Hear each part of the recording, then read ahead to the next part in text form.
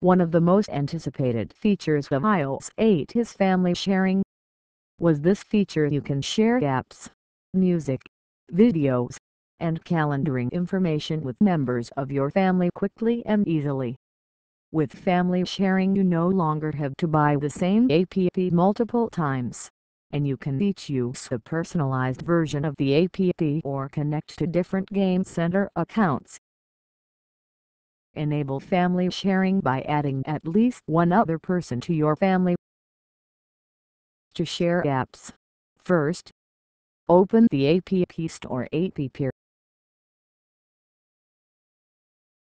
If you don't see the App Store app, go to Settings greater than General greater than Restrictions and enable installing apps. On the iPad, Go to Purchases. Tap on My Purchases and select the family member whose apps you want to share. If your family members aren't listed, go back one step and wait a few seconds. Sometimes it can take the store a few minutes to load. Find the app, and tap the cloud icon to download it to your device. On the iPhone, go to Updates.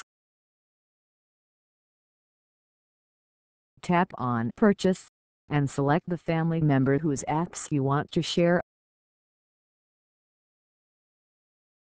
Find the one you want, and tap the cloud icon to download it to your phone. Now to share music, movies, and TV shows. First, open the iTunes Store app.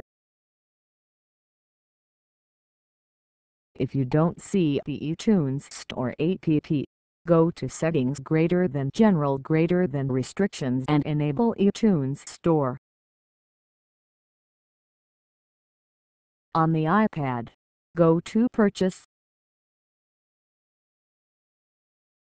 Tap My Purchases and choose the family member whose media you want to share. If your family members aren't listed, go back one step and wait a few seconds. Find the one you want, and tap the cloud icon to download it to your device. On the iPhone, tap the More icon. Navigate to Purchase and tap the name of the family member whose media you want to share. Find the one you want and tap the cloud icon to download it to your phone.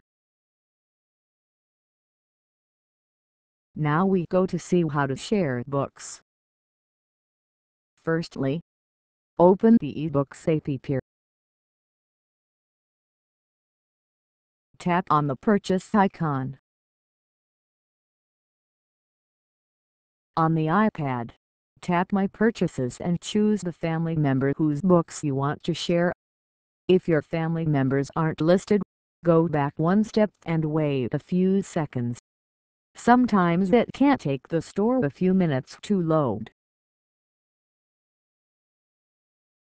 Find the book you want and tap the cloud icon to download it to your iPad.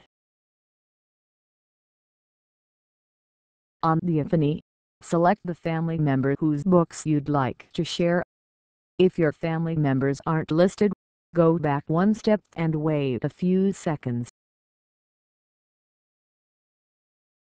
Find the book you want and tap the cloud icon to download it to your phone. That's it.